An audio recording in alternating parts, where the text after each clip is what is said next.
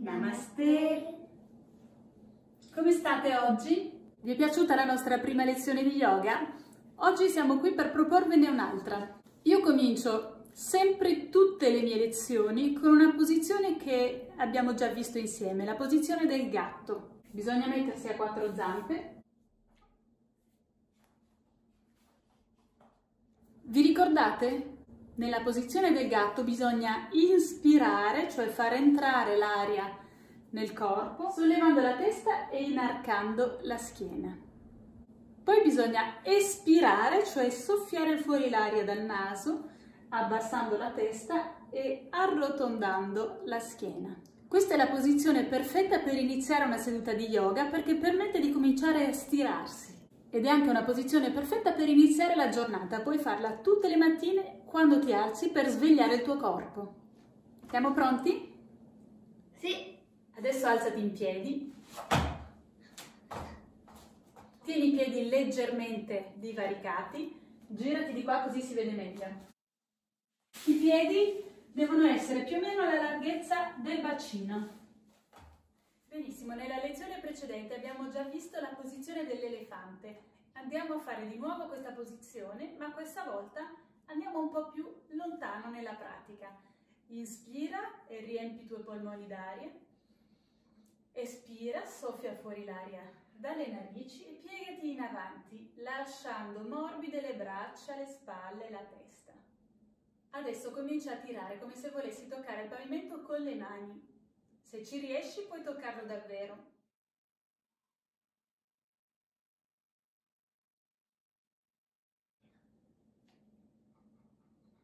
Non dimenticarti di respirare mentre mantieni la posizione. Adesso con le mani afferra le gambe o le caviglie. Questa volta dovrai tirare per avvicinare la pancia alle cosce.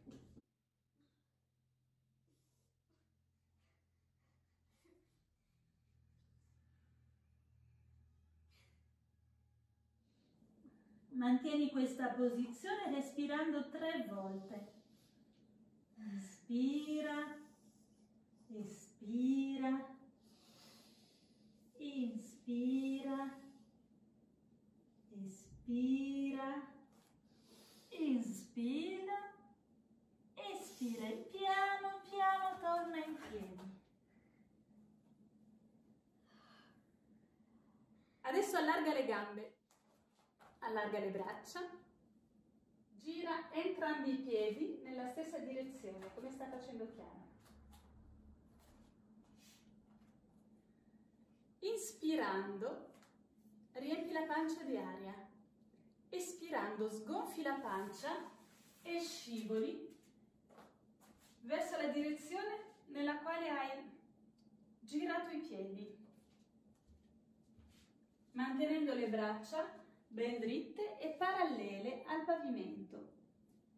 Inspira ed espirando scendi fino a toccare con la mano la gamba o il piede. Poi gira la testa e guarda l'altra mano che si trova in alto. Se non riesci a vedere la mano non importa, gira semplicemente la testa in direzione della mano.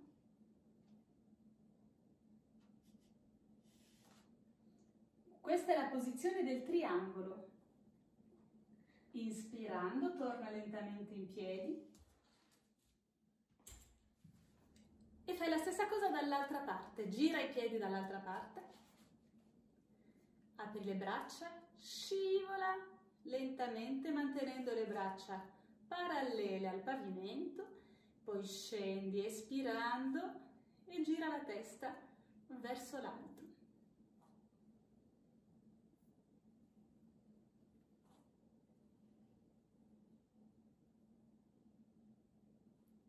Respira e inspirando torna in piedi. Mantieni le gambe divaricate, però questa volta con i piedi paralleli.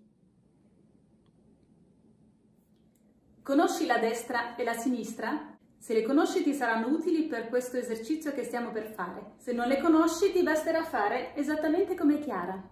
Allarga le braccia come nella posizione del triangolo. Inspira, riempi la pancia di aria Espirando vai a toccare il piede sinistro con la mano destra, proprio come Chiara, e giri la testa sempre come se volessi guardare l'altra mano che è rimasta in aria. Molto bene. Inspirando torna in piedi con le braccia allargate, espirando vai a toccare il piede destro con la mano sinistra. Gira la testa e guarda la mano che è rimasta in alto o in direzione della mano se non riesci a vederla. Respira. Cerca di non muoverti durante le posizioni, anche se è un po' difficile. Inspirando, torna in piedi. Questa posizione assomiglia un po' a quella del triangolo, infatti si chiama la posizione del triangolo rovesciato. Adesso mettiti in ginocchio.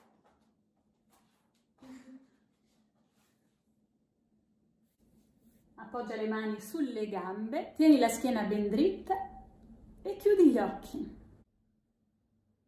In questa posizione, cercando di non muovere neanche uno dei tuoi muscoli, Conta 10 respirazioni, 5 ispirazioni e 5 espirazioni.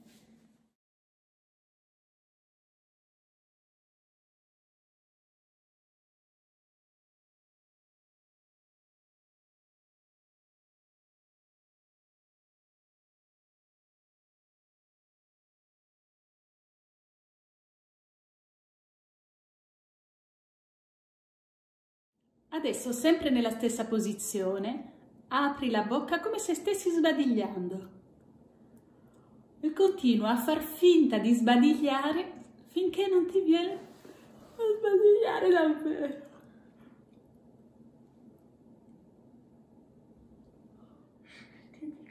Questa è la posizione del leone, ti permette di stirare la mandibola e di attivare i muscoli del viso. Adesso facciamo la posizione del guerriero.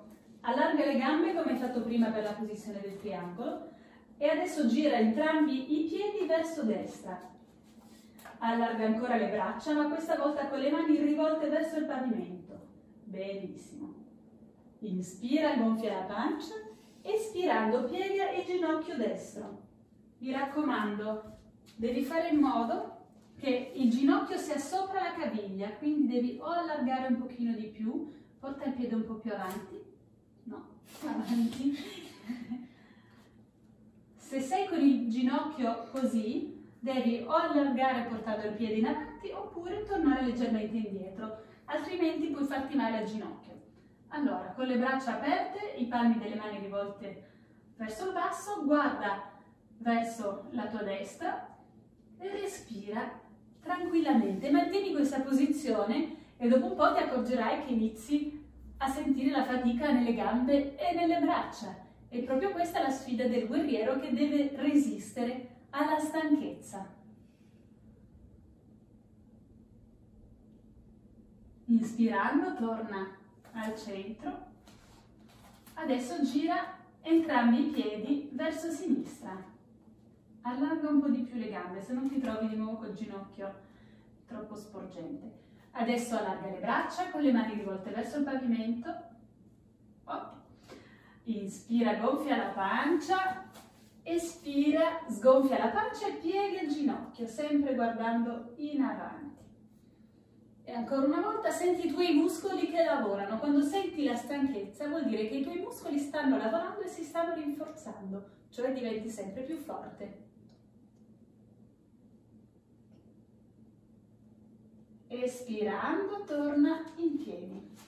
Nella lezione precedente abbiamo visto molte posizioni con nomi di animali. La posizione che stiamo per vedere adesso è la posizione di Hanuman. Hanuman è una divinità indiana e fa parte del, della mitologia dell'India. Ti ricordi che lo yoga viene dall'India? Ecco, Hanuman è una divinità indiana che ha l'aspetto di una scimmia ma un'intelligenza e un cuore molto più grande di quello di qualunque essere umano.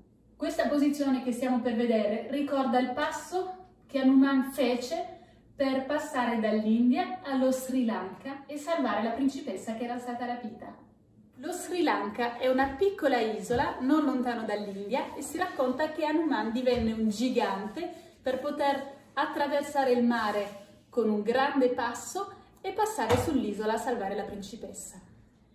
E proprio con un grande passo inizia la posizione di Hanuman. Una volta fatto questo grande passo, porta le mani giunte davanti al petto e inspirando sollevale.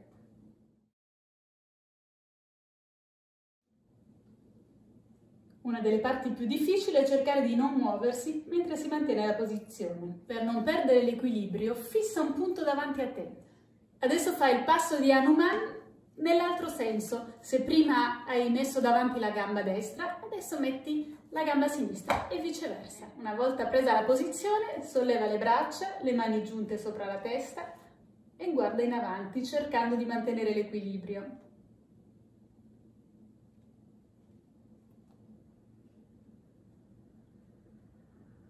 Perfetto. Adesso mettiti in piedi con i piedi ancora una volta alla larghezza del bacino. Il bacino è questo.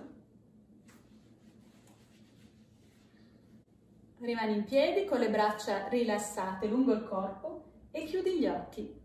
Mentre respiri, fai attenzione alla pancia che si gonfia quando l'aria entra nel corpo e alla pancia che si sgonfia quando l'aria esce dal tuo corpo. Adesso, sempre restando in piedi e continuando a respirare profondamente, immagina di essere un albero. Immagina sotto i tuoi piedi delle radici che scendono nella terra. Immagina il tuo corpo come il tronco dell'albero e immagina intorno alla tua testa tutta una corona di rami, di foglie, di fiori.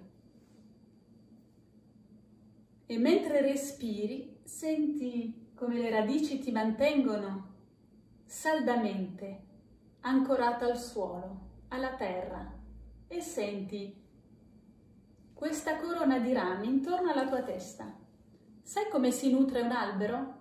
Non mangia come noi, ma assorbe l'energia dalla terra attraverso le radici e dal sole attraverso le foglie.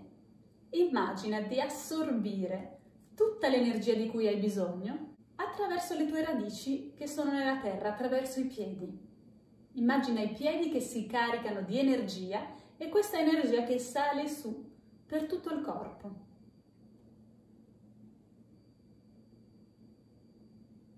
Adesso immagina che tutte queste foglioline che stanno intorno alla tua testa assorbano l'energia del sole. Immagina questa energia che scende dentro la tua testa, nel collo e poi nella schiena, nella pancia e giù fino ai piedi.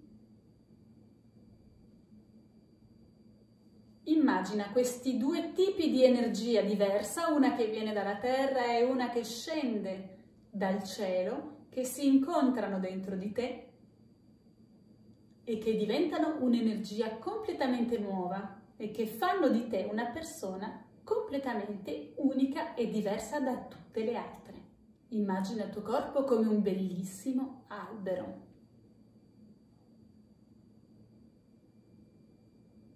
Adesso respira profondamente, inizia a stirarti e torna a muoverti. Ancora una posizione nella quale parleremo di destra e di sinistra. Se non sai distinguerle, guarda semplicemente come fa Chiara. Piega la gamba sinistra come se stessi per incrociare normalmente le gambe. Con la gamba destra passaci sopra e vai ad appoggiare il piede a terra. Adesso solleva il braccio destro verso l'alto. Benissimo. Piega il gomito e lascia cadere la mano dietro la schiena. Con la mano sinistra, passando da sotto, cerca di andare a toccare la punta delle dita poi raddrizza la testa e respira. Ma vediamo la posizione anche da dietro perché è importante. Se riesci, vai a toccare la punta delle dita. Se invece non ci riesci e ti ritrovi così, per esempio, non importa. L'importante non è che le dita si tocchino. Quello che stiamo cercando è semplicemente di stirare le spalle. Quindi se stai facendo lo sforzo come se volessi che le dita si toccassero, Va benissimo. Adesso facciamo la stessa cosa nell'altro senso. Piega per prima la gamba destra, poi porta il piede sinistro a terra. Adesso solleva il braccio sinistro e piegalo dietro la schiena. Con la mano destra da sotto cerca di avvicinarti al massimo alla punta delle dita. Mantieni la posizione e respira profondamente. In questa posizione potresti accorgerti che da un lato riesci meglio che dall'altro. È normale, nessuno di noi è perfettamente dritto. Questa posizione si chiama la posizione del muso di mucca. Ci vuole un po' di immaginazione, ma secondo gli indiani questo somiglia al muso di una mucca. Sì, si vede benissimo la mucca. Eccola. Io pensavo che scherzasse, ma lei la vede davvero. Bene, anche la lezione di oggi è terminata. Ci vediamo nella prossima. Namaste.